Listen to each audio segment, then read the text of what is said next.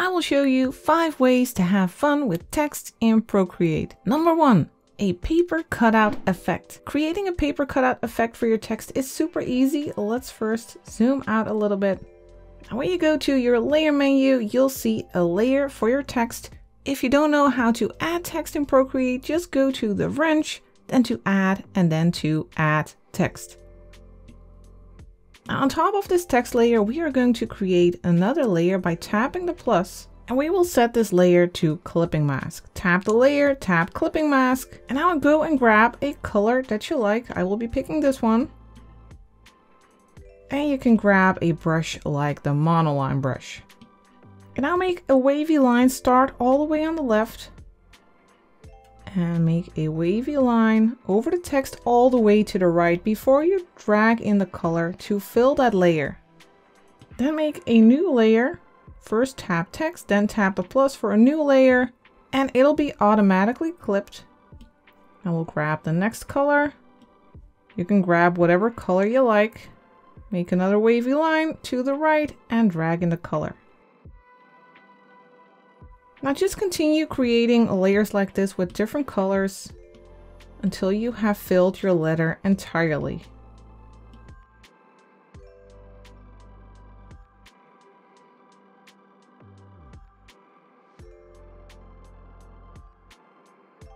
Now for the last piece you want to fill, you can just create a new layer on top of the text layer, pick your color, and just fill that layer.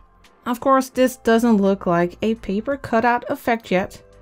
We are going to duplicate these top four layers that we have. You don't need to duplicate the first layer of color. So duplicate these layers by dragging to the left and then tapping duplicate. And now we are going to fill these bottom layers. We're going to fill them with a dark gray. So tap the bottom layer, drag on the color. Then for this one, the bottom layer, each time pick the bottom layer and fill it with gray. Next you need to add a blur to these layers. So go to the magic wand tool, then to Gaussian blur and slide your pen to the right on the screen to create a slight blur let's say 5%. Then we'll go to the next one. We'll add a 5% blur there as well and do this for every gray layer that you have created.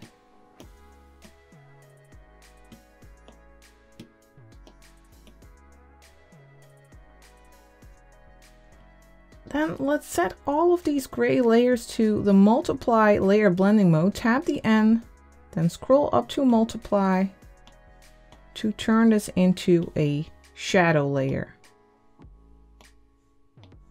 So every time tap the N and set it to multiply. Only the shadow layers, the gray layers that you have created. Now we will select all of these layers by dragging to the right. Then we'll go to the move tool, that's the little arrow. And we will move this layer up and to the side a little bit, just slightly. Then tap the arrow again. And now we need a shadow for the entire text. To do that, we are going to tap this layer with the text, then use select. Then here at the bottom, tap invert. And then we'll make a new layer at the top of all of the other layers by tapping the plus, and then we'll drag in this gray. Now tap that new layer and set it to clipping mask and it'll be invisible right now, but we are going to blur it. First turn off that selection, then go to the Gaussian blur by going to the magic wand and drag your pen to the right to let's say 7%.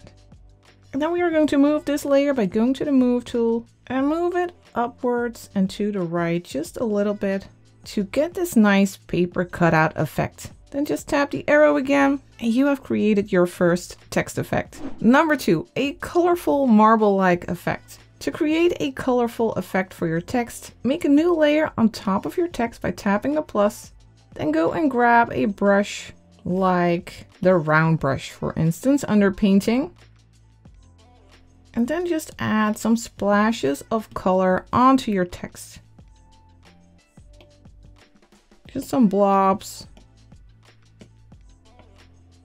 randomly placed on top of your text.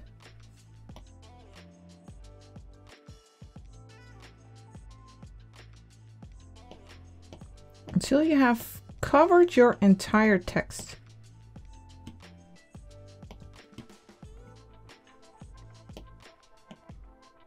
Then once you have done that, let's go to the magic wand and then go to liquify. Then we'll go to crystals. We'll set the momentum to max. The distortion is set to 50% and let's set the size to 60%. Now just hold your pen on your screen to create this crystal-like effect and hold it longer to make the color spread out more. And then once you have a nice crystal-like effect, go to twirl left or twirl right, doesn't really matter. And turn down the distortion a little bit. Let's set it to 75%. And then just make your colors twirl. And once you have a nice twirly effect, you can go to the layer menu, tap your twirly layer, and then set it to clipping mask. And now your colorful twirls will only show up on your text. Number three, let's turn our text into 3D text. First, let's go to the layer, tap it, and let's rasterize our layer. Once you rasterize your layer, you can paint on it again, but you won't be able to change the text anymore. Let's fill our text with a color. I'm going to make it a light orange by just dragging in the color. And then we are going to duplicate this layer by dragging to the left and tapping duplicate. Now go to the bottom one and let's give this a different color. Let's go for a slightly darker orange in this case. Make sure you fill the text. You won't be able to see it since the layer is underneath the other. And now we are going to move our text. Go to the move tool, that's the little arrow, and drag it to the right and down a little bit. Until it's about here. And then tap the arrow again. Now to make it look 3D, we need to attach the front text with the back text. To do that, let's make a new layer on top by tapping the plus, and let's go to the selection tool. That's the S shape ribbon, set it to freehand and turn on color fill. Now let's zoom in and we are going to attach these corners together. You can just tap this corner, then tap the next one, then loop around and close your selection. And we are going to do this for every single corner.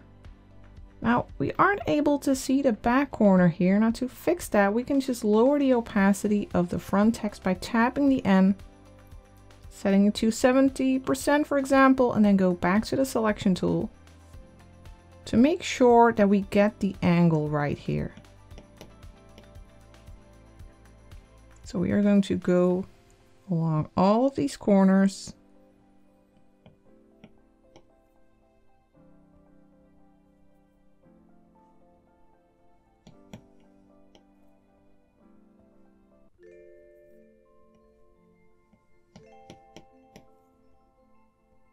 So every time you need to attach the two corners that are the same. So here we have the upper right corner. You need to attach it to the upper right corner of the E that's in the back. Same goes for the X. Attach the corners that are the same.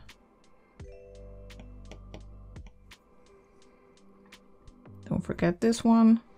And while we are working on this, let me tell you about another video that you can start watching after you are done with this one, in case you haven't watched it already, of course. Because in that video, we will be creating five different brushes in Procreate, like an outline brush, a color changing brush, a stamp brush, a patterned liner brush, and a hairbrush. So be sure to check that video out if you want to become a master in brush creation. And the last one. Now we can turn off the selection and we can turn up the opacity of this front text again. And we can also merge these two layers by pinching them together. And to add a more 3D-like effect, we are going to add a little shadow. Let's tap the plus for a new layer and set it to clipping mask. So whatever we draw will only show up on this text layer. For the color, we are going to grab this one, that fourth color here. I'll be sure to link the color palette in the description in case you want to use the same colors. But just make sure that you use a darker color than your base color.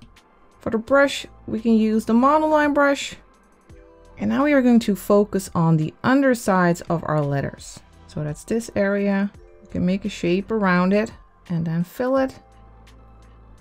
Then we'll go over here, start here in the corner and hold your pen in place and then tap edit shape here. So you can move your line and make sure that it's right in the corner.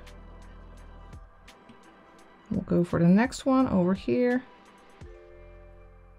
use edit shape.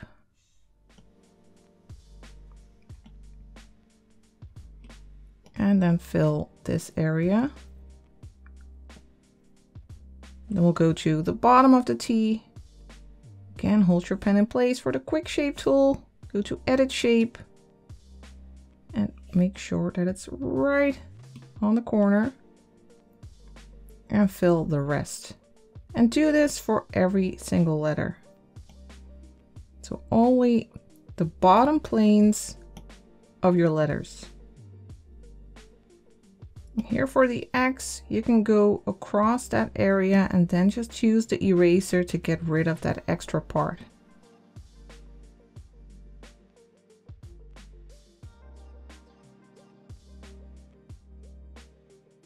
Now for the X, I would also like to add a little bit of shadow on these two planes since they are facing downwards a little bit as well. So let's make a layer between these two, tap the bottom text and tap the plus, and then grab this third color so it's slightly darker than the other side planes.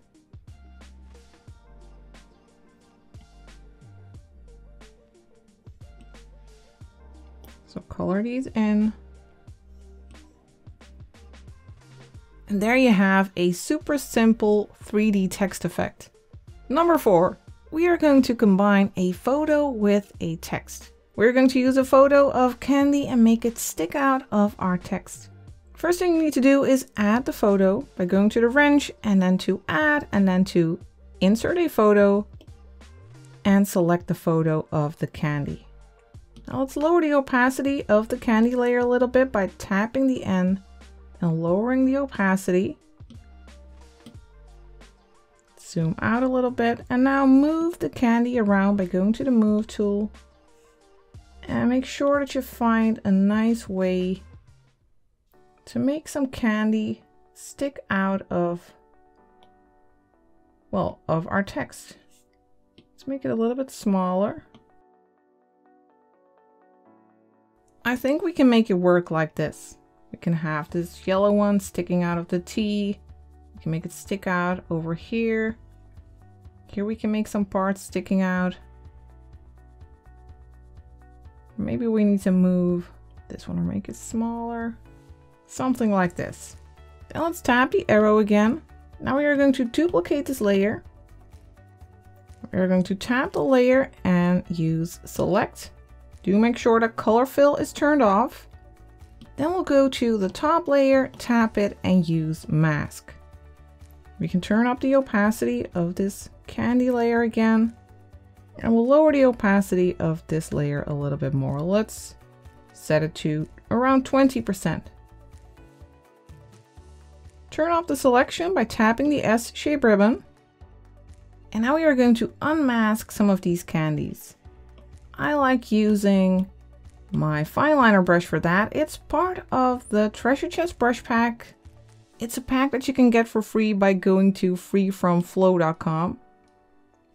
Now make sure that you select a layer mask and make sure that you use pure white. You can double tap here in this area to grab pure white. And then we are going to zoom in and we are going to make some of these candies stick out.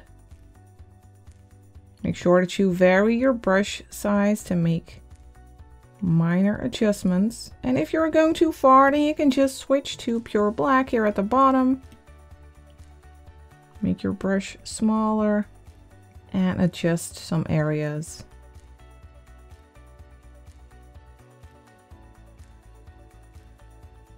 Just go along a bunch of these candies, making them stick out. Make sure that you use or that you go for the top candies though. Because those will make the most sense to be sticking out and not the bottom candies.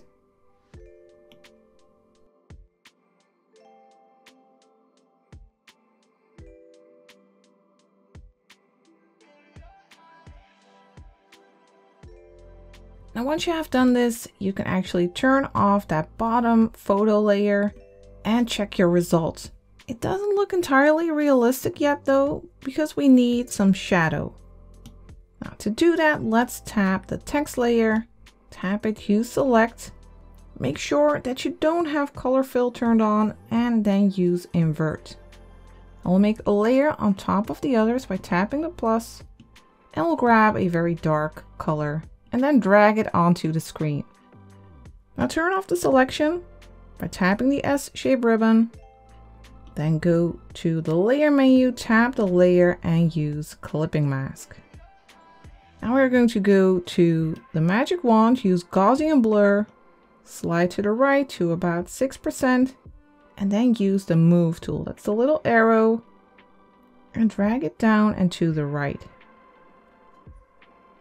and tap the layer menu again, tap the N and set it to multiply. Of course, we don't want these wriggly worms to be black. So let's make a layer mask on this layer as well. Tap it, use mask, set the color to black, and then let's paint over these little worms to get rid of the shadow there.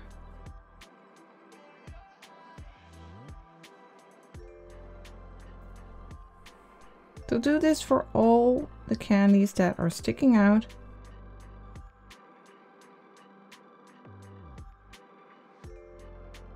And now all we need is a little bit of shadow, a little bit of drop shadow underneath our candies.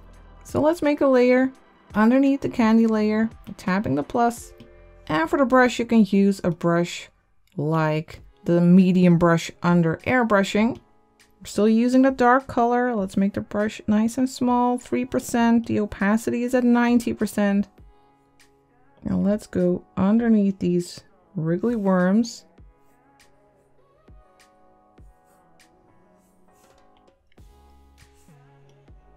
To give them a slight shadow.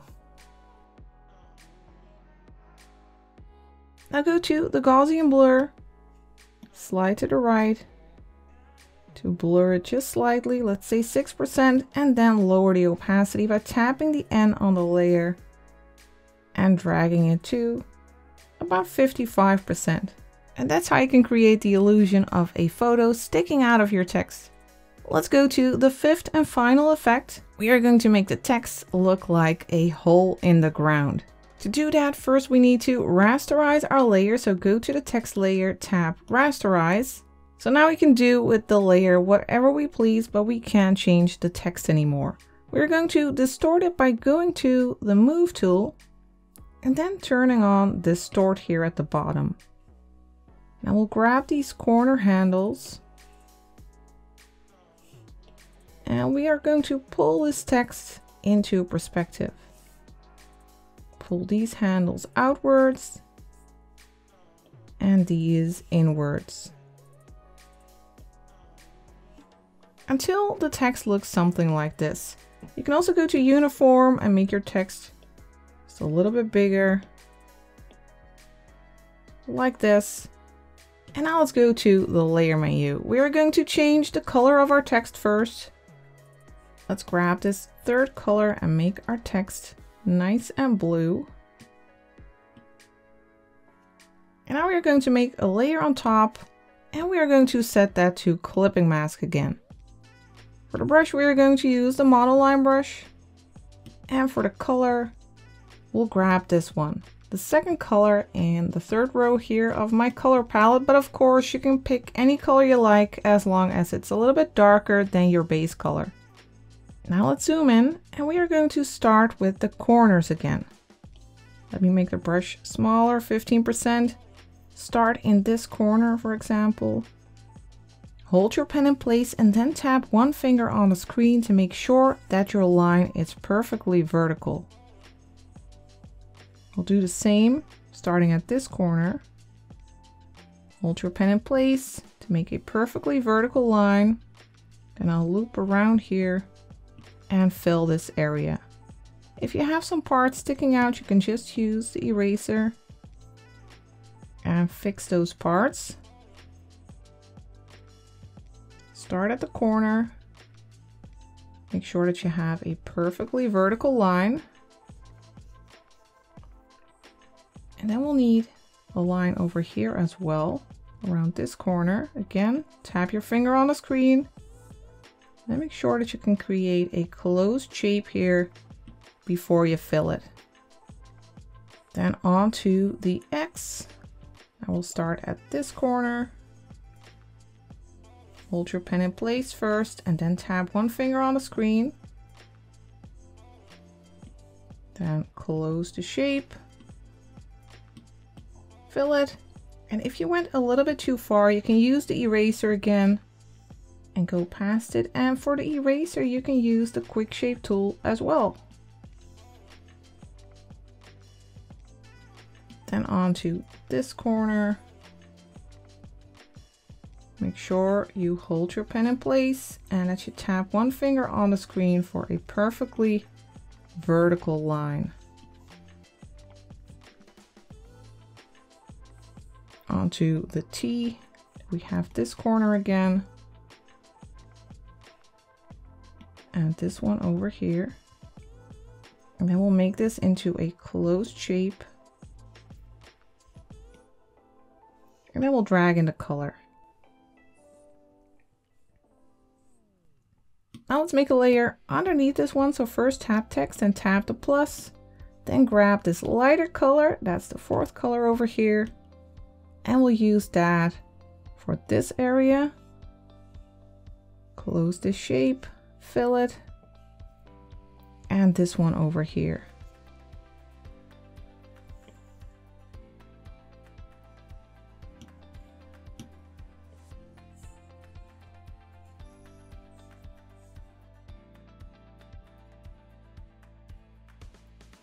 Now let's make this area light as well.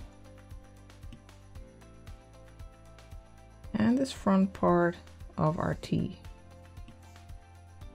This is already looking pretty much 3D, but to add to it, we are going to add shadows to the depth of our text. To add shadow without going outside of the text, you can turn on alpha lock on each layer. So tap the layer, turn on alpha lock, or use two fingers and swipe to the right on your layer. We'll start with this one. We'll grab a dark color, that first color over here. And for the brush, you can use the soft brush, for instance. The opacity is at 75%, and let's make it nice and small. 6%. And let's go over the lower area over here.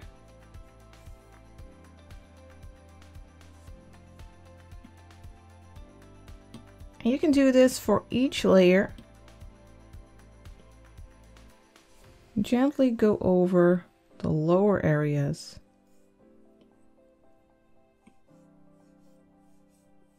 To create the illusion that there's shadow over there. And finally, this layer.